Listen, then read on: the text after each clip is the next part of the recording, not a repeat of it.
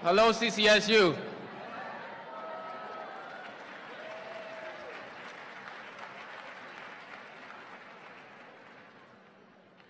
All right, good evening.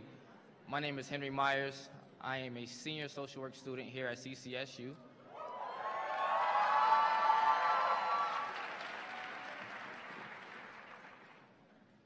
As a chairperson for Mosaic, um, the CCSU Student Union Board of Governors, I would like to welcome you to tonight's event. It was our intention to show Ms. Alexander the support to build a movement for education, not incarceration here in CT. This is a historic event in the history of CCSU.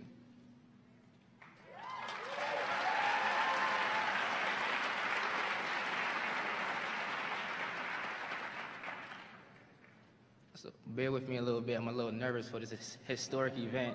So many people, right? Okay.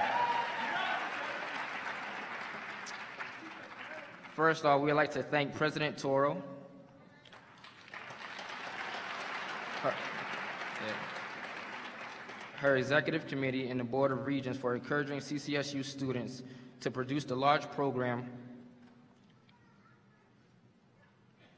interventions that complements our classroom learning and engages the community and students of the excuse me of the ac- academic of conversations that we will reflect on long after the program is over. We welcome our educational partners that have brought groups tonight from Housatonic,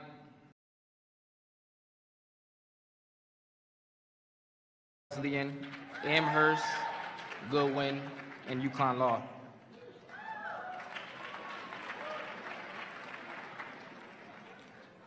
In addition, we welcome community partners here, the CT and WCP, CT uh, Probation, CT Lawmakers, CT Bar, Crawford Bar, the Storehouse members, the CT Center for Nonviolence, and number of faith-based communities in the audience.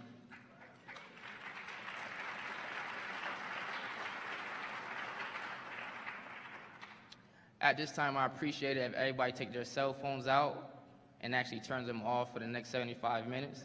So I'll give you a little bit of time to do that right now. Or on silent.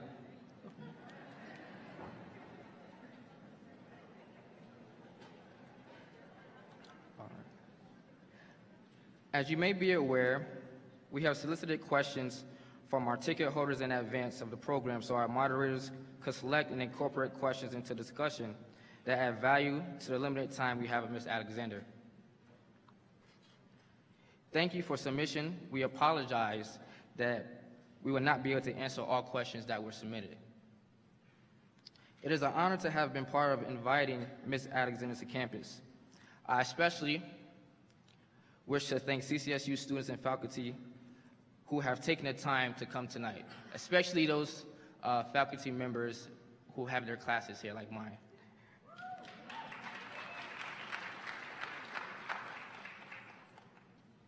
We only have about 75 minutes with Mr. Alexander and hope you will consider staying for the duration so that you are not a disturbance to the experience of others in the full house.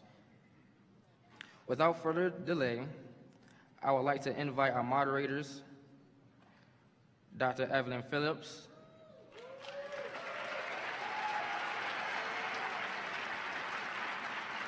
and Dr. Warren Perry of the CCSU Anthropology Department to take their seats on the stage. You can continue to clap.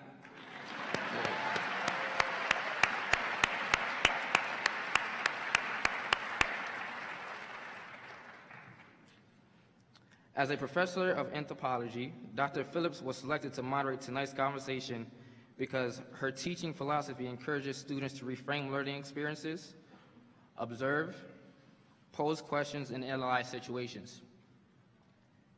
Dr. Phillips believes if students are able to critically examine their world, understand context and the interconnectedness of life, then advanced technology, downsizing, and people within the cultural views are not considered major threats but opportunities to explore new prospects. Dr. Warren Perry was selected because his research interests include African diasporic studies, African cultures, African archaeology, African American archaeology, archaeology of class formation and social inequality. He teaches courses and conduct research in each of these areas. Dr. Perry currently serves as the Associate Director of Archaeology, Principal Archaeologist for the African Burial Ground Project in New York City. I would like to invite Professor of Political Science and former State Representative Bill Dyson to the stage to introduce our guest for the evening.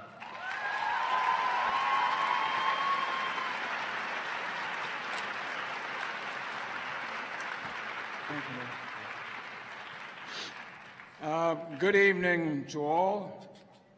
Welcome. Let me let me just say, um, on an occasion such as this, in which you have so many people who are coming together around an issue that they feel some connection with, and they're all in one place and in, in one place and they can see each other is a way by which you foster discussion, have debate.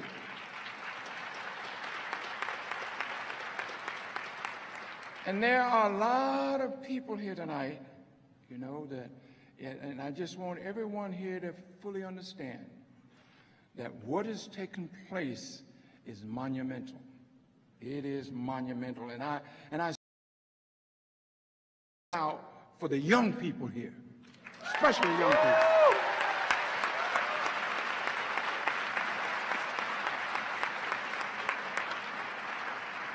Because the young people made this possible. They brought the energy to this, and they are here. So I just want us not to overlook that very fact that that is what you have here in your midst. And do take the opportunity for somebody you don't know. Make sure you get to know them. Say something, if nothing else but say hi. How you doing? Because we all understand we are here because this issue that Miss Alexander is going to talk about matters. This issue matters.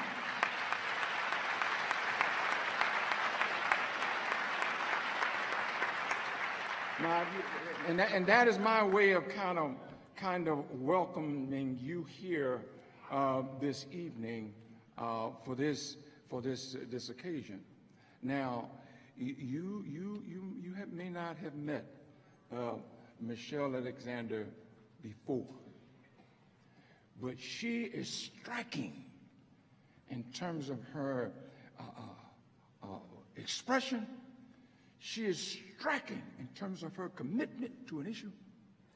She is striking in terms of being serious about the issue at hand. And she does it with a pleasant expression.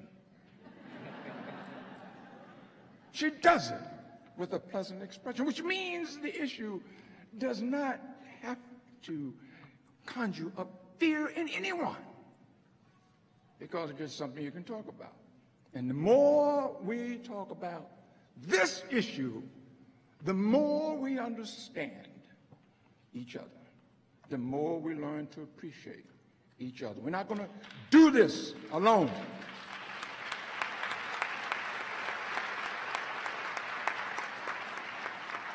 There, there's no expression I, I use is that uh, None of us go through this world alone. What comes out to the life of others come back into our own. You don't do it by yourself. It's with others that you do this. And I feel good with what I see here tonight for the people who are here. And especially, again, especially for the young people. For the young people. Now, I, let me get on to my, the job I have at hand here. And the job I have at hand is, now that's another lesson I, I thought, I think I got over to you. I hope you did. when you get an opportunity to get before an audience, use it. use it.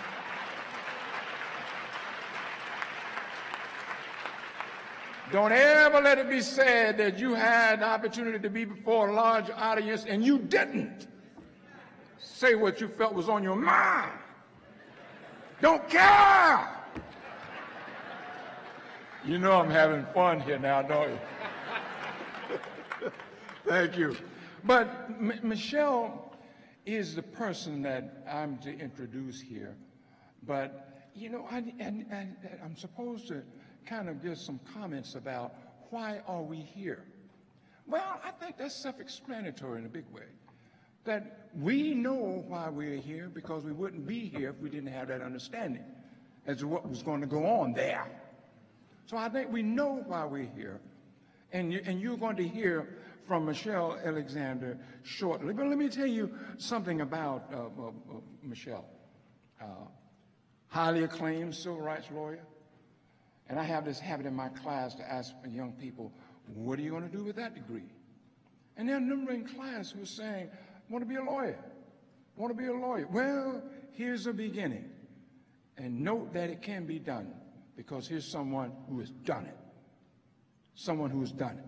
So she's an, a civil rights lawyer, social justice advocate, legal scholar, visiting professor at Union Theological Seminary, she is renowned for delivering insights that pave the way for new perspective on our criminal justice system, the practice of mass incarceration, and the various challenges facing the civil rights community. She's the author of the best-selling book, The New Jim Crow. Michelle draws from her celebrated work as she peels back the curtain on system, systematic racism in the U.S. prison system and initiates frank, open dialogue about race relations and injustice in America. Folk, let's welcome a rock star, Michelle Alexander.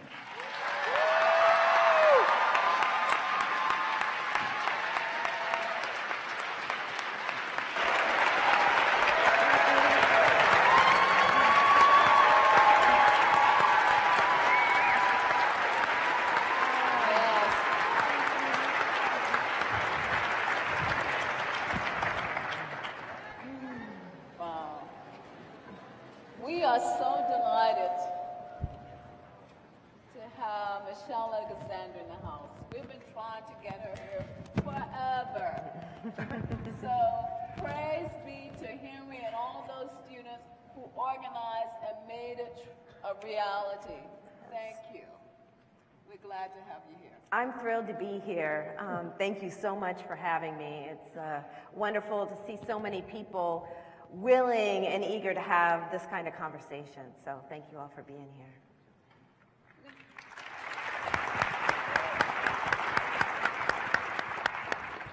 We have a lot of young people here tonight. Some are from the high schools in addition to the university.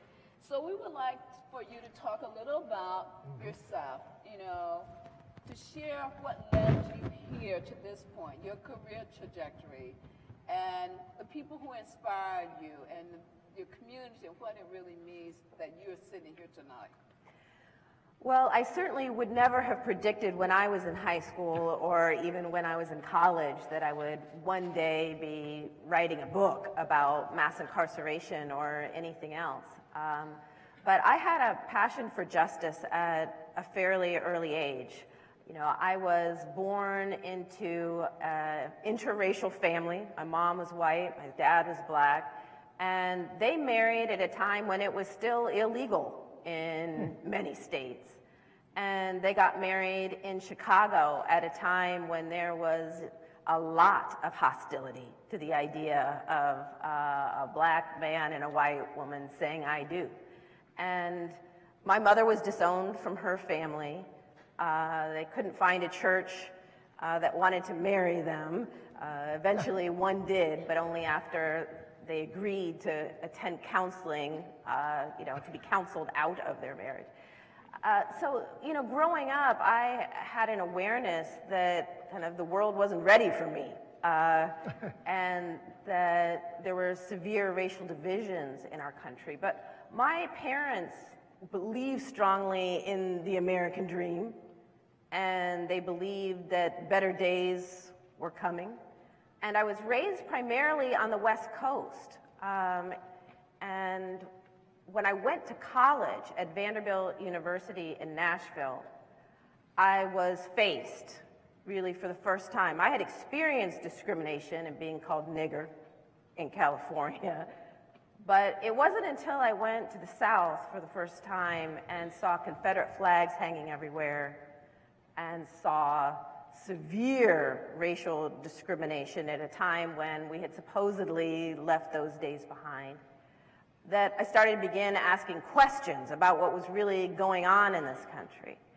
And I did an alternative spring break program where students could, instead of going to the beach or taking time off or seeing their families, could go and do some kind of social justice project. And I went to Lexington, Mississippi. And a group of us went to Lexington, Mississippi for the purpose of helping out with a voting registration drive. And when we got there, we were informed that Lexington had redrawn its city boundaries to exclude, basically, the black population. And we were going to be living with a black family in Balance Due, which was the name of the area that had been excluded from the white parts of town. And we were going to be helping folks register to vote because they were being turned away by the voting registrar. And I thought, how is this possible? Uh, the Civil Rights Acts have already passed. Uh, how is it that people can't even register to vote at this time? And we toured the school that was there that was literally called the Attendance Center, that had, you know, a, a, a roof that was caving in. And I had the sense that there was this huge part of the country that was left behind, that the civil rights movement hadn't come here yet. And so I became active in social justice causes and started doing work volunteering in urban schools and even became a volunteer prison visitor and became active in social justice causes in high school and decided, I mean, in college, and decided I wanted to go to law school and to do something uh, to make the dream real for those who had been left behind. And in retrospect, I see now that I had a very warped and romantic idea about what the civil rights movement had actually accomplished and really had no idea that outside of the South, a new system of racial and social control had been born again in this country uh, in urban areas across this country that no one was willing to acknowledge. Um, so I really went to law school because I believed as a nation we were on the right path, um, but that we had a long way to go. And I was inspired by Thurgood Marshall and Ella Baker and so many civil rights heroes and wanted to help finish the job. Um, but at that time, I had no idea that our nation had already taken a dramatic U-turn and that a new Jim Crow system was already being born. Thank you. Thank you, Michelle. Welcome. We're glad to have you here, as you know. I have a question. In your book, you discuss how this young man from Oakland, California, uh, who documented his encounters with the Oakland police, accused you of not caring about him uh, when you learned he was a felon. What shaped your perceptions of those harmed by the criminal justice system prior to that transformative moment? Uh, prior to, oh, uh, to that transformative moment in the newspaper, when you read the newspaper later, and that affirmed what the young man had reported to you. Yeah. Well, let me just share a little bit about that Sure. story. you know, um, When I became the director of the Racial Justice Project for the ACLU, I was well aware that there was racial bias in all of our institutions. I came to the ACLU having worked as an employment discrimination lawyer representing victims of race and gender discrimination, people who were being denied you know, hiring and promotions in Fortune 500 companies, as well as a wide range of businesses. And I had been involved in a wide range, of housing discrimination, litigation, and so I wasn't naive about the fact that unconscious and conscious racial bias permeates all of our institutions in our society. Um, but I thought that the criminal justice system was just one of many institutions infected with racial bias. I did not, when I first started working at the ACLU, fully grasp the magnitude of what was going on. Uh, but we had been receiving a large number of complaints from people who believed they'd been stopped and searched by the police for no reason other than race. And as we began investigating these complaints, we realized that they were widespread. And so we set up a hotline number for people to call if they believed they had been stopped or searched on the basis of race. We called it the DWB hotline, the driving while black or brown hotline. And we sued the California Highway Patrol for racial profiling in their drug interdiction programs. And we were looking to sue some other police departments as well, including the Oakland Police Department, you know, about which we had received a number of complaints. And so I was spending my day, this one day, uh, interviewing one young black or brown man after another who had called our hotline number to report discrimination by the police. And this young man kind of walked into my office carrying a stack of papers about this thick. He had taken detailed notes of his encounters with the Oakland mm-hmm. Police Department over about a nine month period of time. He had taken notes of every time he had been stopped, every time he had been frisked, mm-hmm. every time he was in a car that had been pulled over and had been searched, or that he'd been asked where he was going or what he was doing. He had names of officers, even badge numbers. He had names and addresses and phone numbers of witnesses, who was with him and who could testify to what happened, uh, if someone was beat up in the encounter or not. Just an unbelievable amount of documentation and detail of this pattern of police stops that he had been experiencing. And we knew that the Oakland Police Department had been sweeping his neighborhood. And he was a well-spoken young man. He was good looking. And I thought, he's our dream plaintiff. You know, he's the one we've been looking for who could be our named plaintiff in this class mm-hmm. action suit mm-hmm. we were planning to file against the Oakland Police Department. So I'm getting him all excited, asking questions. He's giving me more information, detail. And then he says something that makes me pause. And I said, wait a minute, what did you just say? Did you just say, did you just say you're a felon? Did you just say you're a drug felon? Because when people were calling our hotline number, we actually mm-hmm. sent them a form to fill out asking them a bunch of questions about the police, and one of them was, have you ever been convicted of a felony? We believed we couldn't possibly represent someone as a named plaintiff in a racial mm-hmm. profiling case if they had been convicted of a felony because we knew that if we did, law enforcement and the media would be all over us saying, well, of course the police are stopping him. He's a criminal. He's a mm-hmm. felon. This isn't about mm-hmm. race. This is about the police going after the felons, the criminals. And we knew we couldn't put someone on the stand with a felony record without exposing him to, you know, cross-examination mm-hmm. by, uh, you know, lawyers and turning it into a mini trial about some young man's criminal past and deflecting attention away from the pattern of police conduct. So we had been excluded from consideration all those who had felony records. And this young man had not, you know, checked box. And so I'm looking at him saying, uh, what, what are you saying? You're saying you're, you're a felon? And he gets really quiet and he just looks down at the table and then he's like, yeah, yeah, I'm a felon, but let me tell you what happened.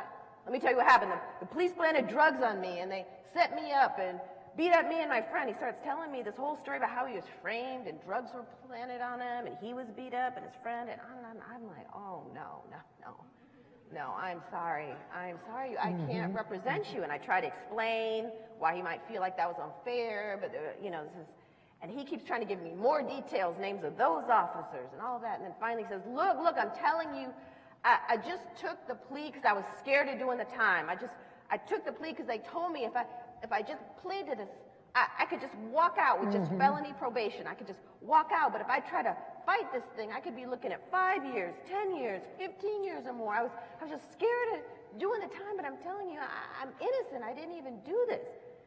And I was like, I am sorry, you know, but I, I can't represent you. And then he becomes enraged. And he says, You're no better than the police. You're no better than the police. The minute I tell you I'm a felon, you just stop listening. You can't even hear what I have to say. He says, What's to become of me? You know, he says, Do you know that I can't even get a job anywhere because of my felony? Like, where am I supposed to go? What am I supposed to do? He's like, do you realize I, I, I can't even get into public housing because of my drug felony? He's like, I have to sleep in my grandma's basement at night because nowhere else will take me in. It's like, what am I supposed to do? How am I supposed to take care of myself as a man? He's like, I can't even get food stamps. I can't get food because of my drug felony. He says, good luck finding one young black man in my neighborhood they haven't gotten to yet. Hmm. They've gotten to us all already. And with that, he snatched all those notes up and just ripped them into tiny pieces and threw them in the air and walked out of there saying, You're no better than the police. I can't believe I trusted you. Well, several months after that, I open up the newspaper, and what's on the front page? Well, the Oakland Riders police scandal is broken. Turns out that a gang of police officers, otherwise known as a drug task force, had been planting drugs on suspects, beating folks up, and who's identified as one of the main officers charged with planting drugs on suspects and beating folks up? The officer he had identified to me as having planted drugs on him and beat up him and his friend. And it was really only then that the light bulb finally went on for me, and I was like, he's right about me. You know, I'm no better than the police. The minute he told me he was a felon, I just stopped listening. You know, I couldn't hear what he had to say. And that was the beginning of me asking myself and others a lot of hard questions. Why was it really that we hadn't been able to find one young black man mm-hmm. in his neighborhood they mm-hmm. hadn't gotten to yet? What, what was really going on? And I also started listening more carefully hmm. to the stories of those cycling in and out of our prison system and doing an enormous amount of research. And what I learned in that process blew my mind.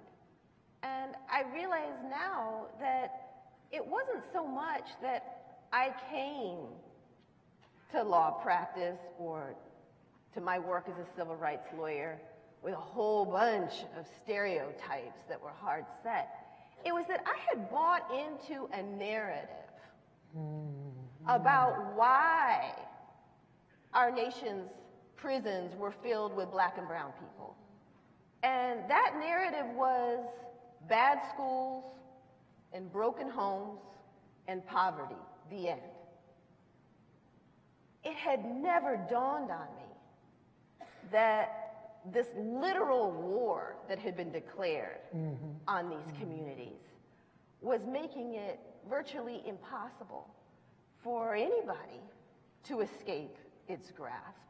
And that millions of people were now being swept in to our nation's prisons and jails, um, arrested primarily for nonviolent and drug-related offense, the very sort, same types of crimes that occur with roughly equal frequency in middle-class communities, white communities, as they do in the hood, swept in, branded criminals and felons, and then stripped of all of the rights supposedly won in the civil rights movement the right to vote, the right to serve on juries, the right to be free of legal discrimination for the rest of their lives. Um, and, you know, I realize now that, you know, it was really because I had bought into this idea that um, the explosion in our prison population had to do primarily with poverty and educate poor education and broken homes rather than our response to poverty and economic collapse and despair. And as a nation, we ended the war on poverty, declared the war on drugs, and birthed a brand new system of racial and social control unlike anything the world has ever seen. Thank you so much. Thank you so much.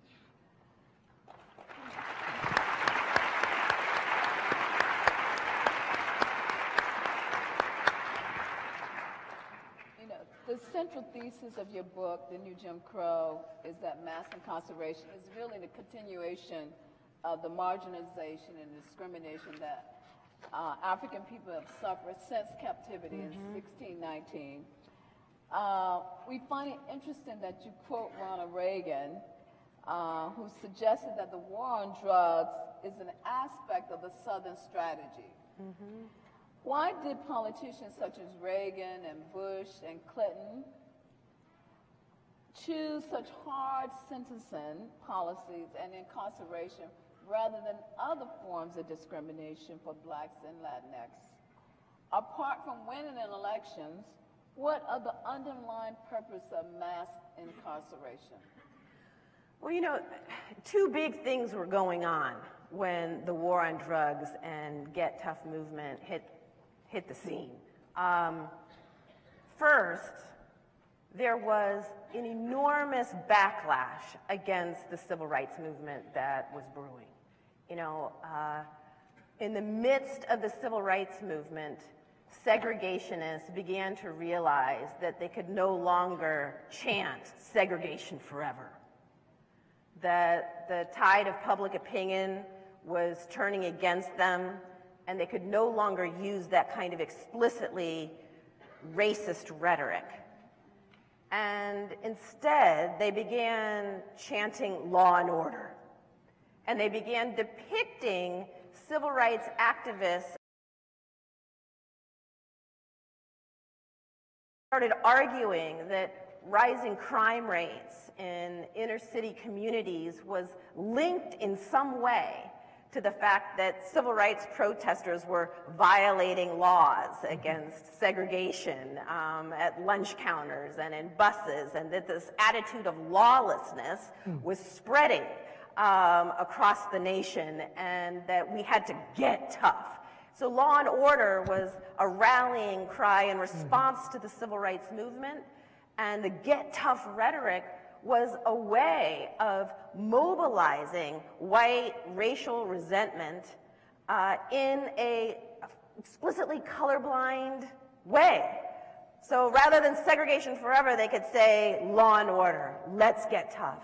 And all of that racial resentment and anxiety, all of those fears that were bubbling to the surface in white America as really they were facing a demographic shift, right? They were, they were facing the, the prospect of this whole population that had been kept inferior and locked in a permanent second class status suddenly competing potentially on equal terms uh, for jobs that they, they viewed as scarce and you know competing for education and opportunity. And this fear and anxiety uh, provoked a lot of resentment and this get tough rhetoric provided a vehicle much in the same way that the get tough on immigrants rhetoric uh, is has emerged today in response to fears of shifting demographics and fears of the white population losing its ground and uh, that rhetoric uh, made it easy to call for a war on them. Let's get tough on them. But at the very same moment that that backlash against the civil rights movement occurred, there were rising crime rates uh, in inner city communities. And it's because those communities were suffering from economic com- collapse, a literal depression.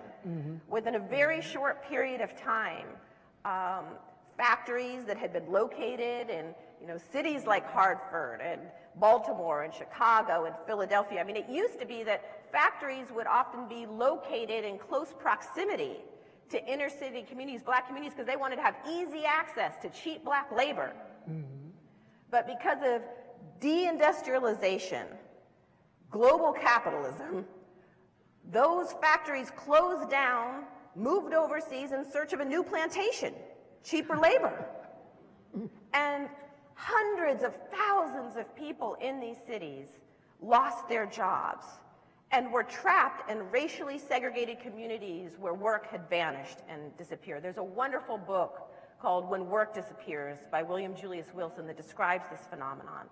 So at the very moment where communities of color were plunged into a literal depression and desperation and despair was taking hold, we could have responded with bailout packages, stimulus packages. We could have responded by investing in education and schools so that the young people trapped in these segregated, now jobless communities would have some hope of making a rough transition, you know, from an industrial, factory-based society to now a service-based society where you not only needed a high school, you know, diploma, but you needed a college degree uh, in order to, but instead of, instead of investing in education, instead of investing in you know, economic investment and job creation, instead of expanding the war on poverty, we ended it and declared a literal war on the very communities that had been rendered disposable um, by global capitalism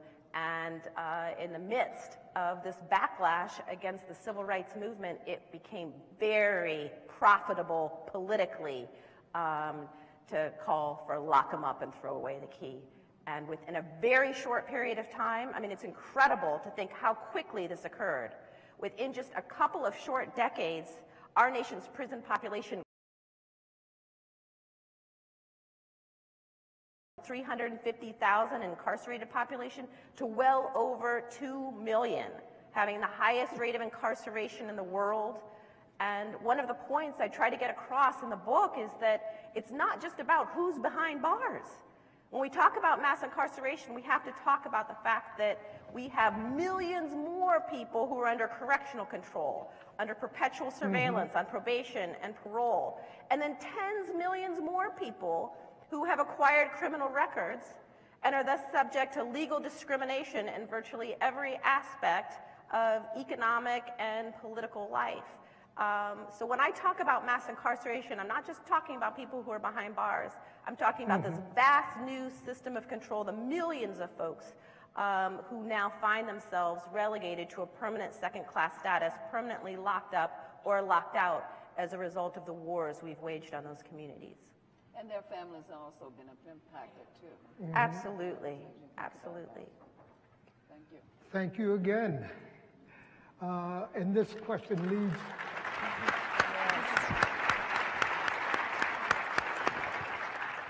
This question kind of moves from that uh, very answer that you gave. You said on Fresh Air interview, January 2012, quote, today there are more African Americans under correctional control, as you just stated, in prison or jail, on probation, on parole, than were enslaved in 1850 a decade before the Civil War began. And that's something that all of us need to really be thinking about. There are millions of African Americans now cycling in and out of prison and jails or under correctional control.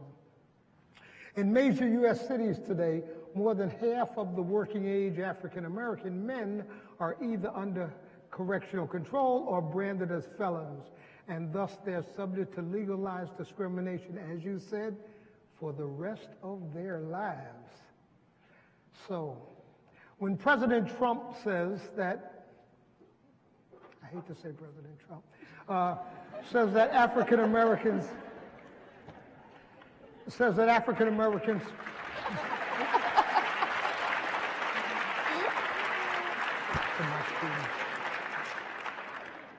says that African Americans have almost full employment what does that mean to you? How do you see that? That means nothing. Yeah.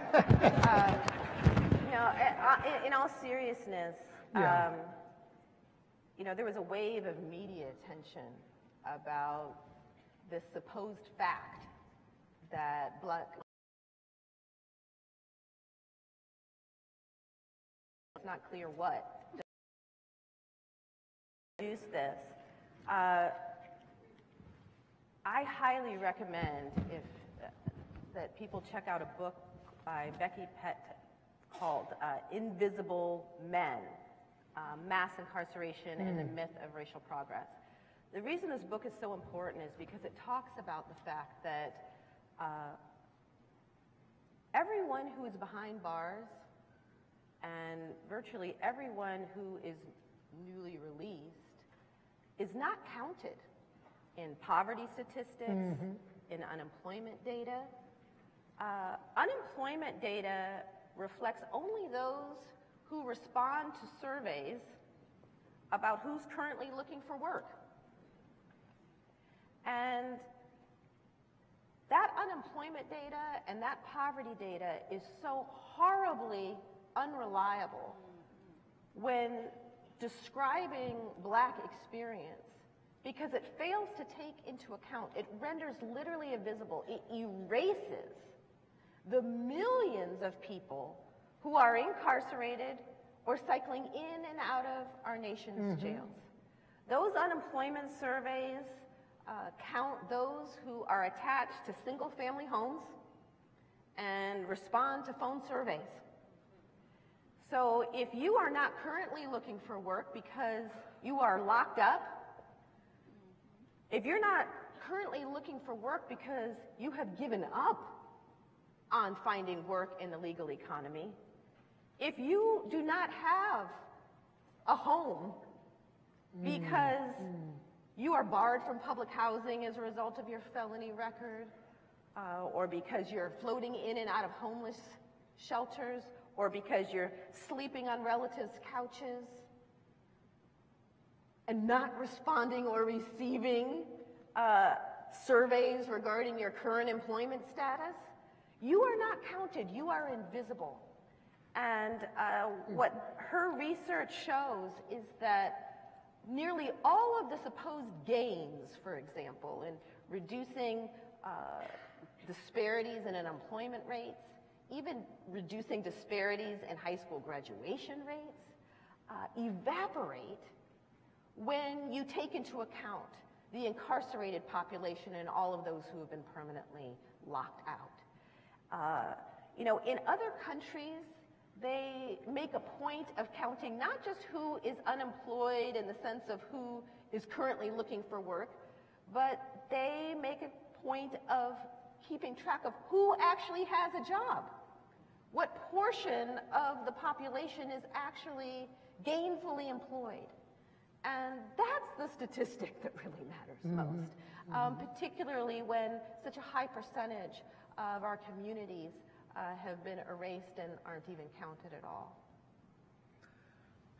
You answered the second part of my question.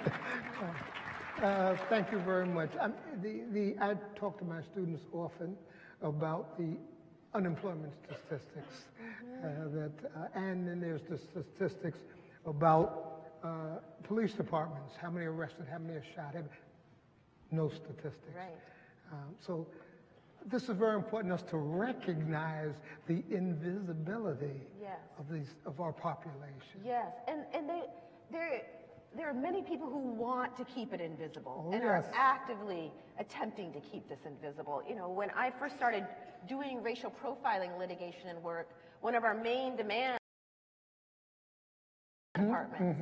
Because back then, in the late 1990s, when I first started this kind of work, uh, we were arguing that police officers were engaging in racial profiling, and police chiefs would literally say racial profiling is a figment of the black community's imagination. There is no such thing as racial profiling. And they could say it and get away with it because there was no data. That's it. There was no data showing the rates at which African Americans were stopped and searched as compared to whites.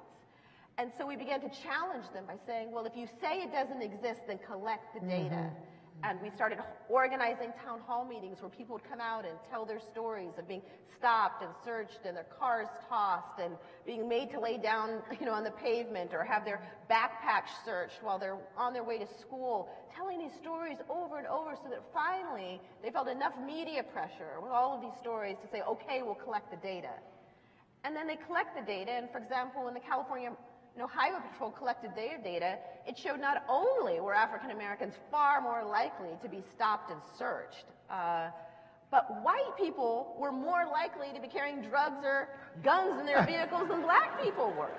Um, and so racial profiling was actually quite unproductive as a law enforcement strategy. Thank you. I think it shows you how important it is to ask the right questions. Yes. You know, in terms of research, we can always shape these narratives by the questions that we ask.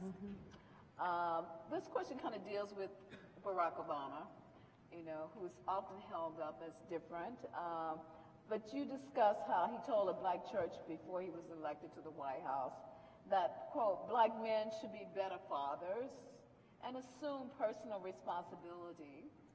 However, you note that his one-dimensional tirade did not include a contextual understanding of the plight of black men and their families.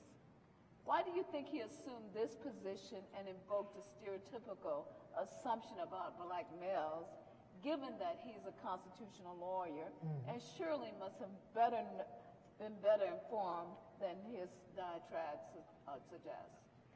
Well, he gave that speech at a time when he was on the campaign trail. And, you know, I, I believe Barack Obama was well aware then, as he is now, of the harms of the drug war, drug war and I would not argue that he was indifferent to it. I, I think, I think he, he cared a great deal about it. But much in the same way that I bought into a narrative mm-hmm. a, a socially constructed narrative about why so many, you know, folks of color were cycling in and out of prisons and jails. I think many politicians of all colors have not only bought into that narrative, but have found it easy to sell uh, to audiences. And uh, you know, I'm not sure he would give that speech today. I don't think I don't think he would. In fact, you know, in the later years of his presidency, uh, he demonstrated that he was, you know, very concerned about mass incarceration. I wish he had done far more in his presidency than he did on that issue. Um, I do. Um, you know, I would trade uh, Barack Obama for Donald Trump any day of the week. Uh, but I I think we have to look at ourselves as a community and ask ourselves, were we restrained during Obama's presidency? Um, were we as bold and as vigilant as we should have been um, during his presidency in demanding uh, the kind of change that this crisis really requires? And I don't think the answer is yes. I don't think we can honestly, uh, kind of, as communities, look ourselves in the mirror and say, we really went to the mat for our communities during that period of time. I don't think we did. I don't think we did. And, you know, I worry that because we were so consumed with trying to protect, um, you know, a black president who was being unfairly assailed in so many ways um, on the right that we didn't fight as hard as we could have or should have, um, you know, for the kind of change that was required. And uh, I hope we won't make that mistake again. And I hope that when we find ourselves with black mayors, black governors, black police chiefs, black presidents again, um, that we will, you know, view our primary loyalty um, to the communities uh, which are suffering, um, the communities that we claim um, to represent, uh, and you know, act with, with more boldness and courage the next time around. Thank you.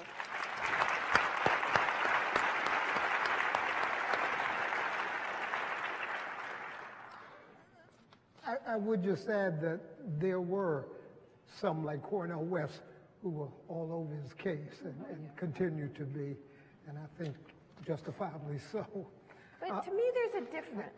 I just want to say a point on, on, on that because for me, at least, when I say that we should have acted, or I wish we had, um, organized and acted with more courage and more boldness, it wouldn't be to attack Obama. No, I agree. but rather to create the political conditions in which it would have been impossible for him not to act. And that, Okay. that I think is, is our job in our democracy. And, you know, very often people will say, oh, well, I need to get into a meeting with the governor if only I, we had access, political access to this politician or that politician. I say, no, when you have political power, they come to you. Exactly. You know, when you are organized and vocal and active, they will come knocking to you. They will come looking for you, which is what in fact happened after Ferguson, right? Um, when the young people took to the streets in Ferguson and there was an uprising, um, they got invited to the White House.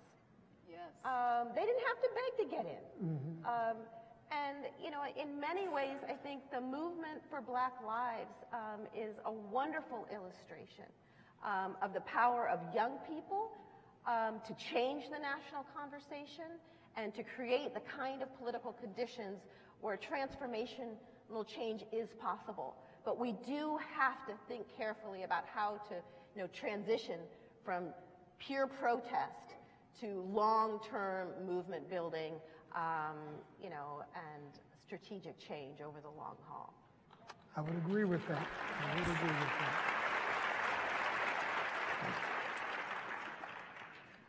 I have another, I have a question now. Uh, you suggest in your book that black communities unwittingly supported the war on drugs. I find this in my own discussions with communities because they assumed that the police would reduce the crime in their communities.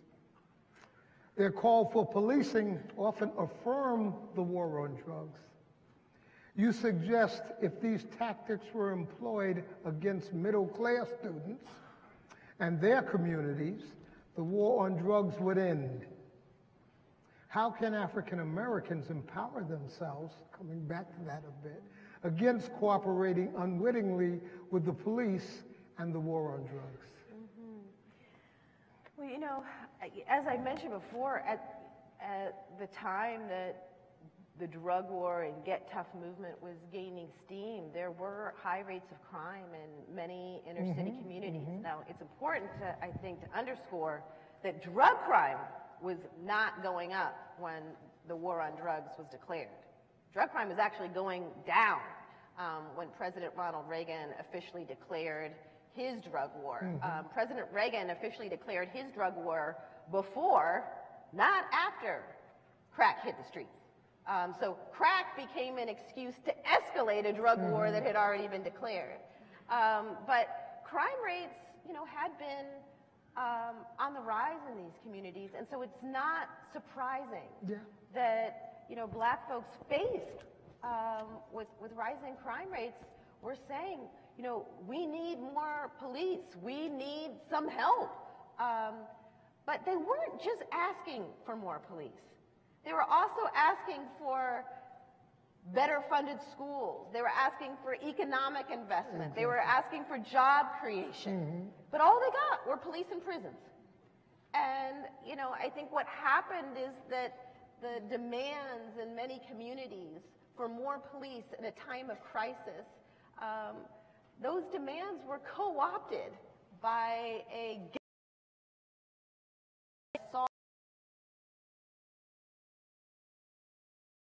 black people supported the mass incarceration of their young people. No, they didn't. Um, black people wanted um, some crime control and for the police to respond to a crisis in their communities. Uh, but because there were voices within the black community that were calling for some get tough measures, uh, they were used in many ways um, by a larger movement that was happy uh, to provide police and prisons while ending welfare as we know it, ending the war on poverty, um, and investing at a time when so many politicians claimed, well, there's not enough money for more teachers, there's not enough money to fund these schools. At the very time they're claiming that there's no money for these social programs and job creation, uh, our nation invested $1 trillion in the drug war alone. Um, and so here we are, um, you know, decades later, with millions of people cycling in and out of our prisons and jails, and more than a trillion dollars squandered, um, having done nothing to reduce rates of drug addiction or drug abuse, but to have now produced uh, millions of people who are part of a permanent undercaste. And what was the role of private prisons in that? Well, private prisons, you know, private prisons.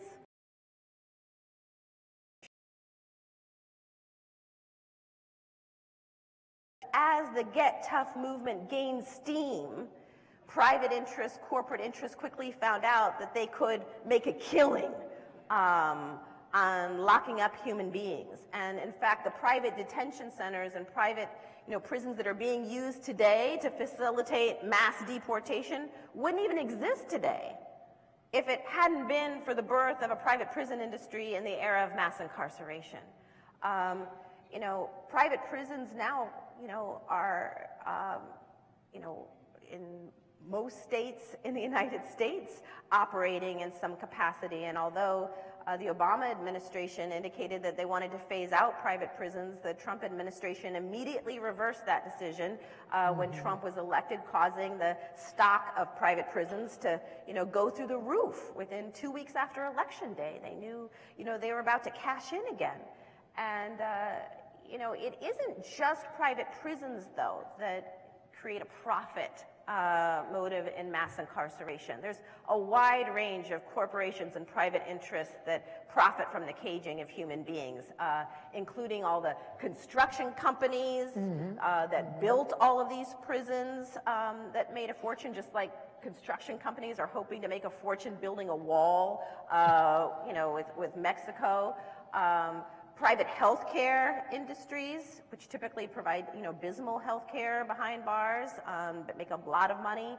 Um, private healthcare systems, phone companies that gouge um, prisoners' families um, have made a killing in this era. So there's a wide range um, of private interests. Uh, taser gun manufacturers, um, you know, the manufacturers of guns and military uh, equipment, since now, you know, military equipment, um, military grade equipment is routinely used by local law enforcement. They have all cashed in um, on mass incarceration as, you know, the birth of this new penal system has actively impoverished um, the people they've aimed to cage. Yeah.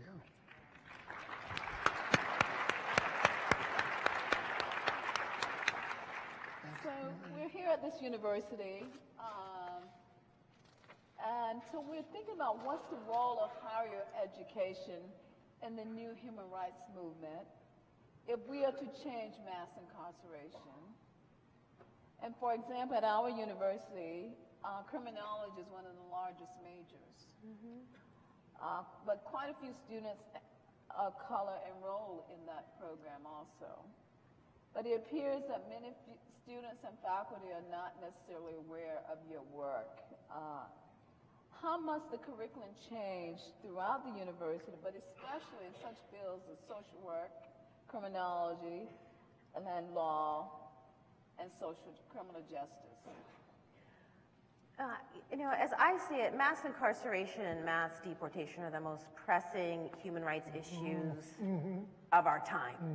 And if in our universities and in our schools we are not teaching the truth about these systems and their history and their birth, um, we, we can hardly call ourselves educational institutions. And, you know, the field of black studies was born because students took it upon themselves to organize and to demand that faculty be hired that would teach them the history they needed to learn.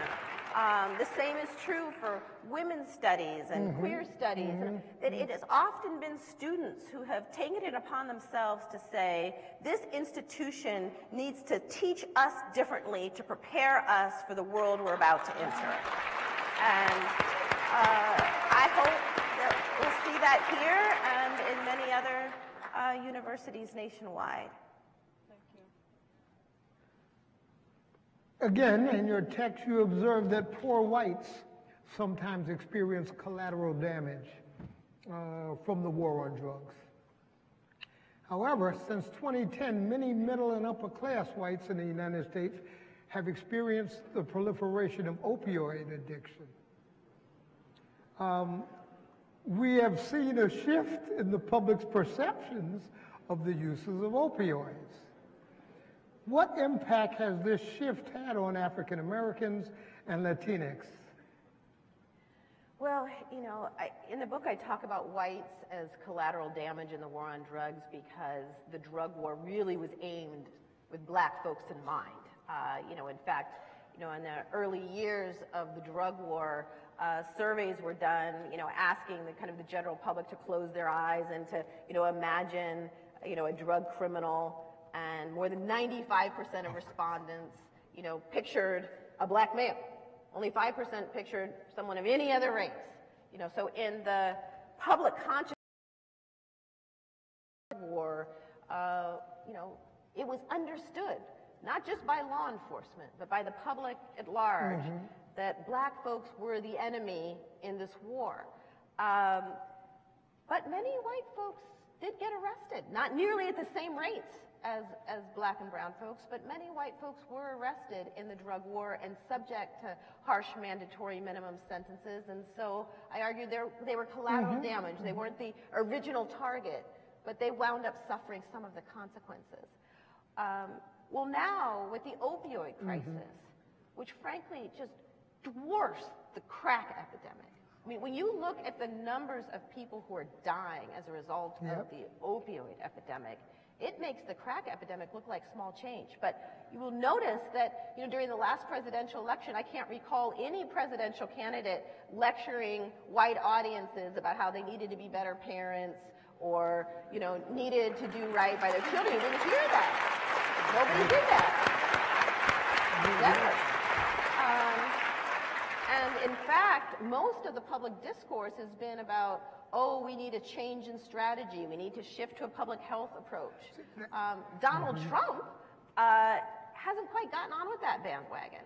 Um, you know, you may have heard recently that Donald Trump just, you know, said that he wants the death penalty for drug dealers, and that he views, uh, you know, the president of the Philippines, um, Duterte, as a model of what an effective drug war looks like. And if you haven't been paying attention to what's going on in the Philippines, they are, the police are mowing down, engaging in extrajudicial killings, just killing suspected drug dealers on the street, willy-nilly.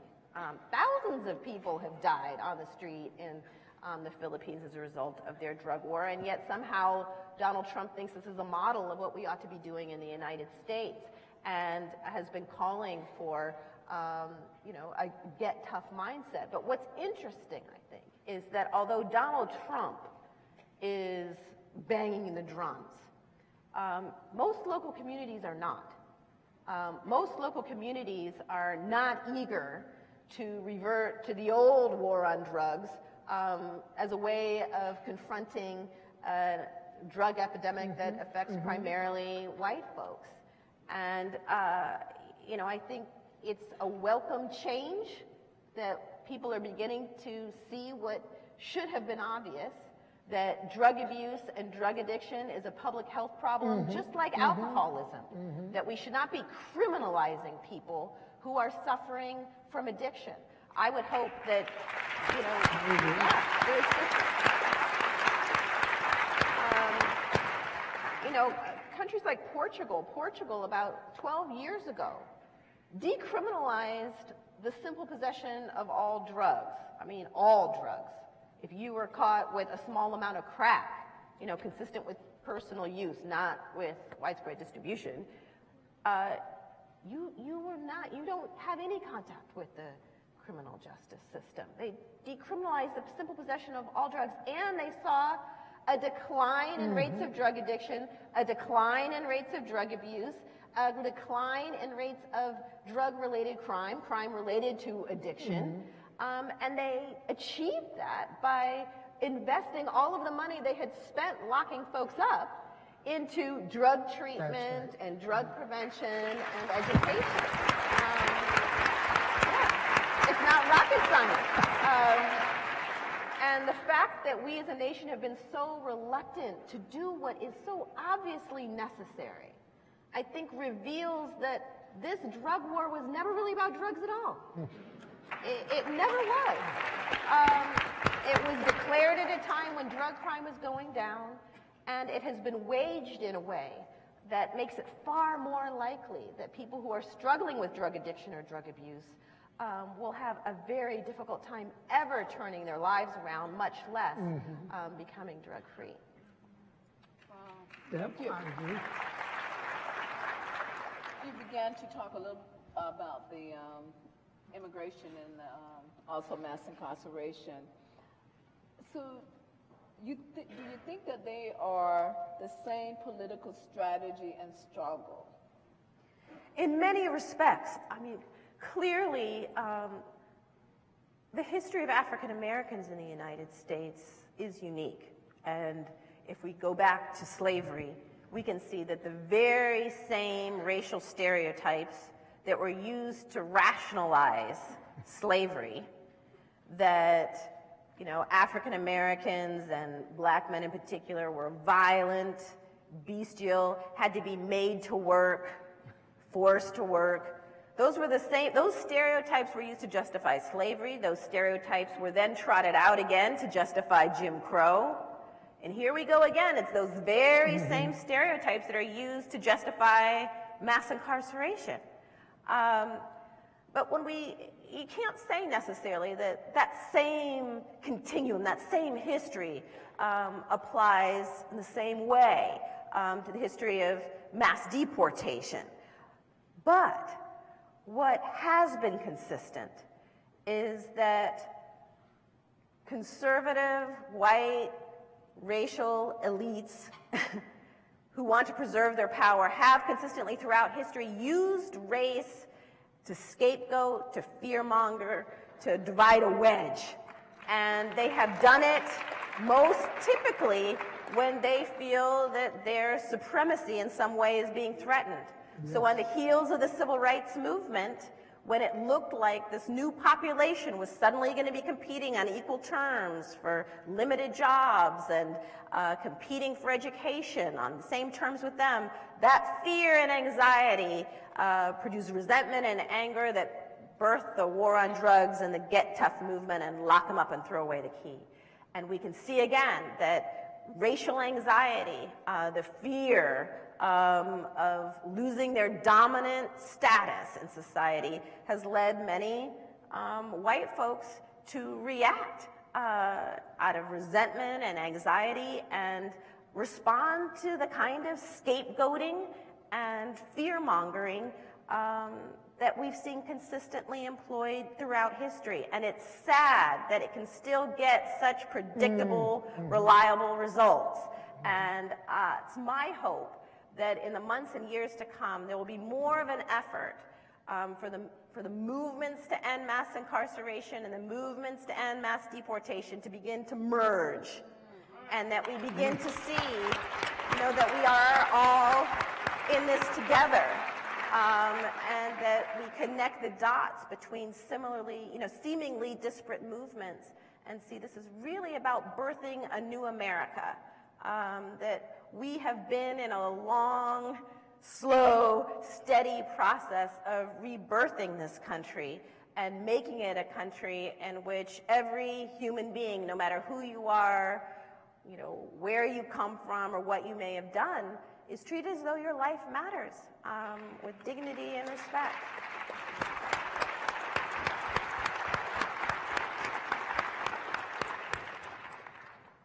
Again, this leads me to this question.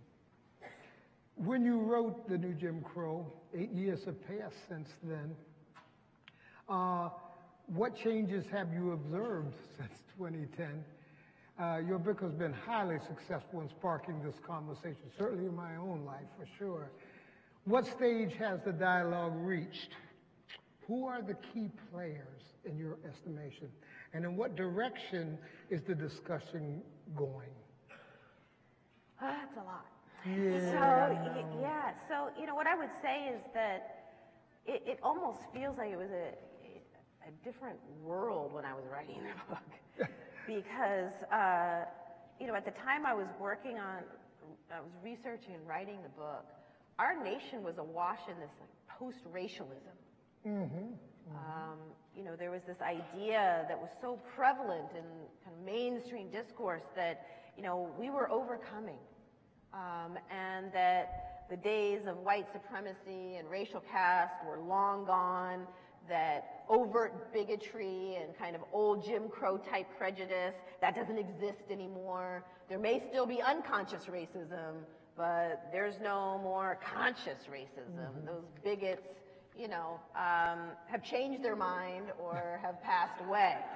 And so, in fact, at the time when I was writing my book, um, I was uh, teaching at Stanford Law School, and it's where I had gone to school as a student. And so, my colleagues um, were actually my former professors.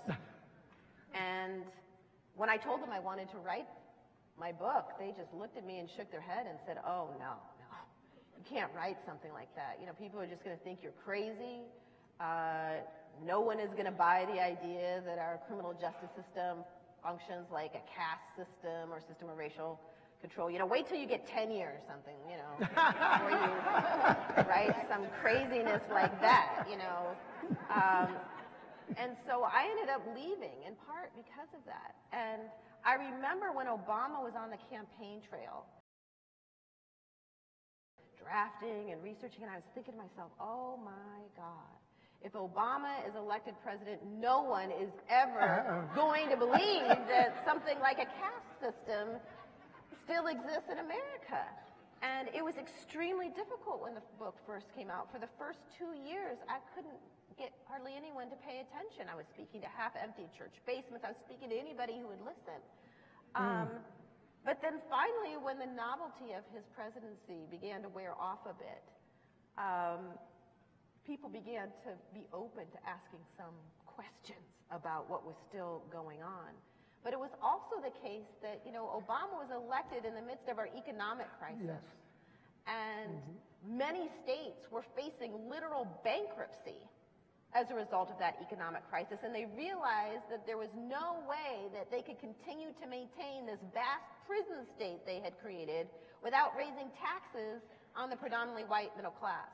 And so suddenly there was this moment where people across the political spectrum were, for the first time, were asked, saying aloud, well, maybe we've gone too far. Why are we locking up so many people? And suddenly you have Newt Gingrich, who was, you know, formerly a, you know, get tough true believer, lock them up, lock them up, writing, you know, opinions in the New York Times saying, you know, it's time for us to scale back the war on drugs. And this wasn't because they had suddenly kind of had an awakening to the dignity and humanity of the lives that had been crushed by the system. It was because suddenly it was no longer in the interest um, of the white majority to maintain this vast prison state. They didn't want to pay the taxes to maintain it. And so this opening occurred where people were suddenly willing to have this conversation about mass incarceration and reconsider it. Um, and so there has been bipartisan uh, conversation about scaling back our prison system, and there have been reductions in prison populations in you know, a number of states, including this one, right. um, that has That's right. seen a significant decline um, in recent years. Um, but my concern is that uh, we will reach a plateau or reverse course if we do not commit ourselves fully to building a multiracial, multi-ethnic, um, multi-class movement led by those people who've been most harmed um, by this system um, that's really geared up for the long haul. Um, because it's easy to scale back the system a little bit and say, okay, well, we reduced the Yeah. prison population a little bit, um, our job is done.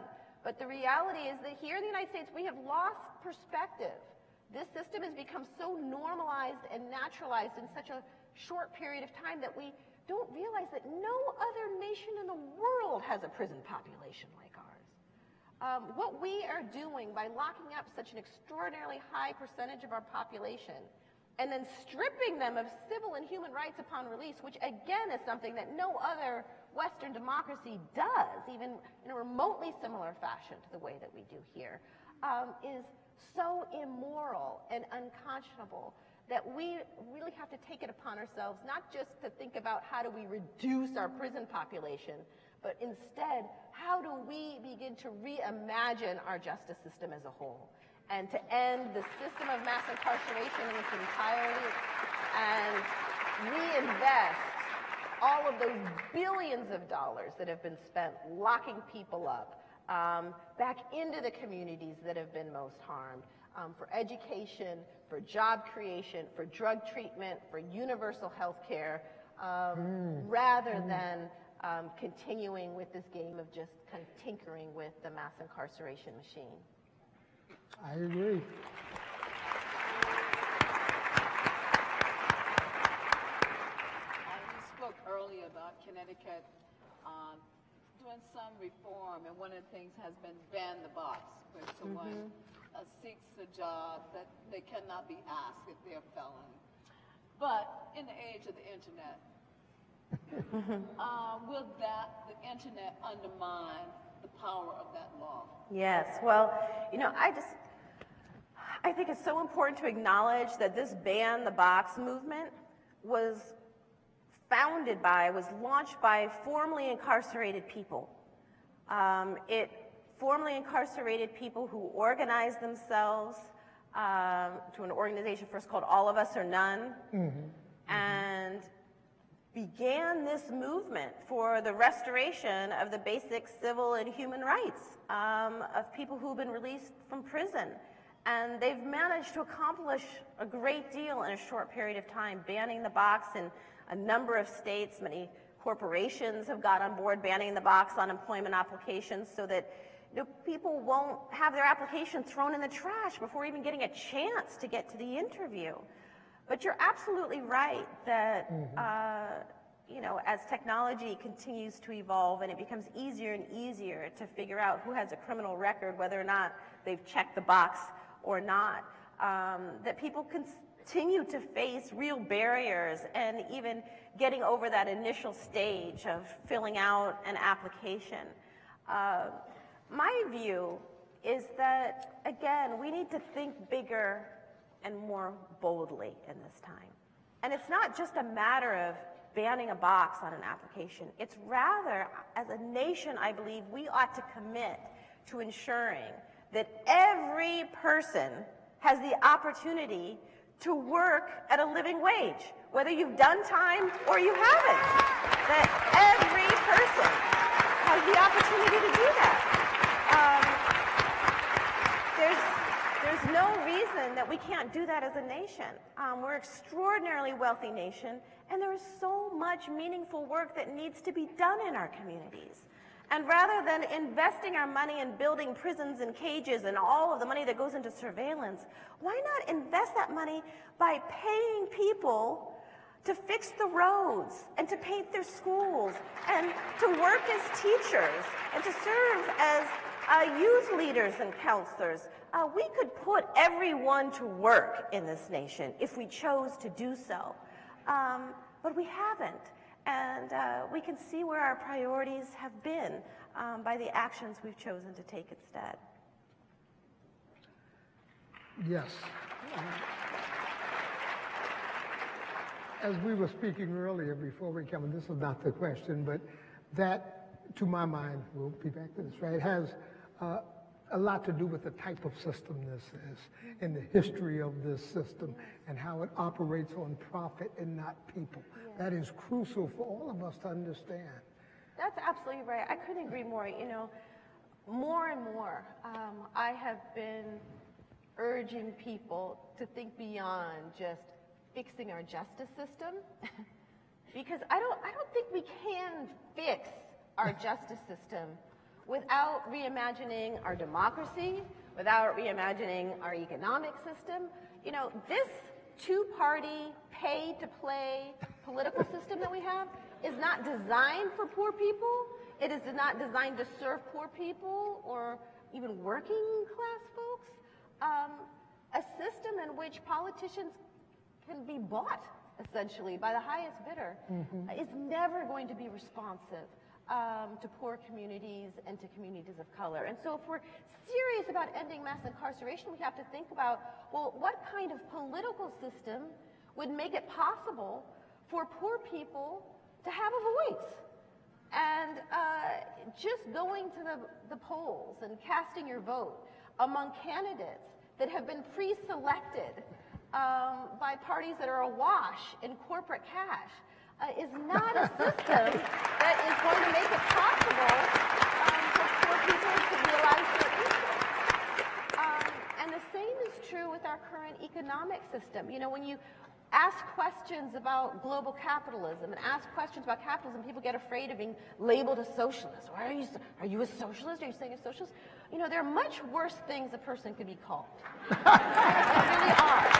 And I, for one, afraid of the word. I'm not afraid of it. You know, you, we look at other Western democracies, like Norway, supposedly Trump's favorite country, Norway which you know is considered a socialist democracy. It has universal health care, high quality education, free college, all of these things which Trump apparently abhors in the United States, but he's hoping that we'll get some more Norwegian immigrants.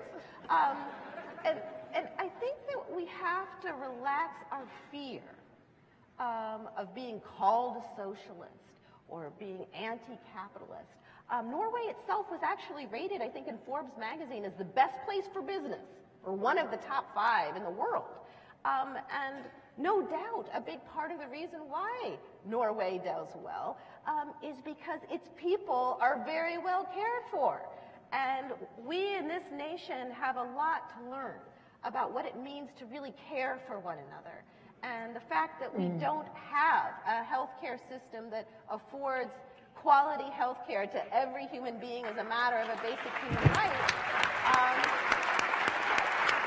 is part of the reason why we have higher rates of drug addiction and drug abuse. Um, and so I hope that we will um, be willing in the months and years to come um, to ask harder questions about our political system and our economic system and dare to dream that we can actually birth something different here. I couldn't agree more. We're down to the last question. We've been given a two-minute warning. Um, and this question really deals more in a personal uh, um, issue. You know, you're doing all this work.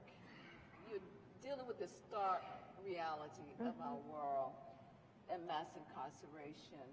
How do you maintain your well-being while, you know, doing this work? Um, and so it's not soul killing. Ah, Yeah. Um, well, I would have to say that I think that the system in many ways can be spirit murdering, but generally, when we join together um, to, to, to fight for the freedom of those who've been locked up and locked out, that, that's, that's soul filling. You know, that isn't, that isn't the spirit murdering part of it. Um, it can get very depressing um, and discouraging and exhausting. And there have been times when I've crashed and burned, and no doubt there's many people in this room is and have been through it themselves. Um, and I hope that just as we learn to kind of care for one another as a nation better, that we'll learn to care for one another in our communities better so that we uh, have the stamina that it will take to build the kind of really revolutionary movement that this country needs. Thank you. Thank you very much. Ms. Vivian Sarah, Thank you. Thank you.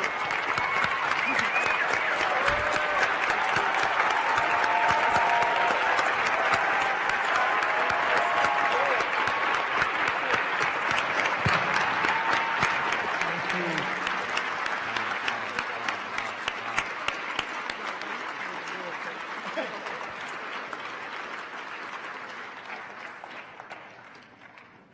Wow. Wow, that was that was awesome, awesome. CCS, you give another hand. Give another hand.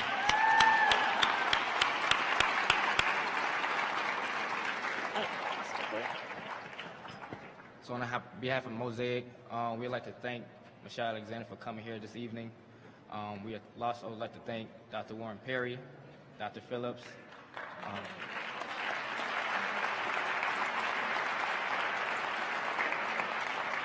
this was this was definitely a moment in history. Um, I hope that we continue as a community to have these conversations. Um, this is just the beginning, I hope, and that we can continue to do this. Um, it's something that definitely needs to be talked about, and I encourage everyone to do so. I also like to thank uh, Professor Dyson over here for introducing me to the book of the new Jim Crow. So I'm, I'm gonna give it to him. He can make a last comment.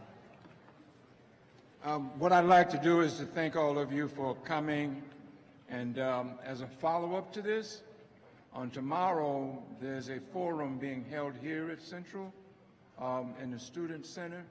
This is the 15th anniversary of our having this forum, by which the very issues that Michelle Alexander has talked about, we're going to engage in workshops tomorrow dealing with these very issues. So for any of you who are around, would like to be a part of that, just know that we'll be in the Student Center tomorrow, and I think we're starting at 9 o'clock, and we'd love for all of you to attend. Secondly, I'd like to say to you here this evening, young people, and I'm going to hop on it until I take my last breath, young people make the difference because they bring the energy. Young people. Thank you.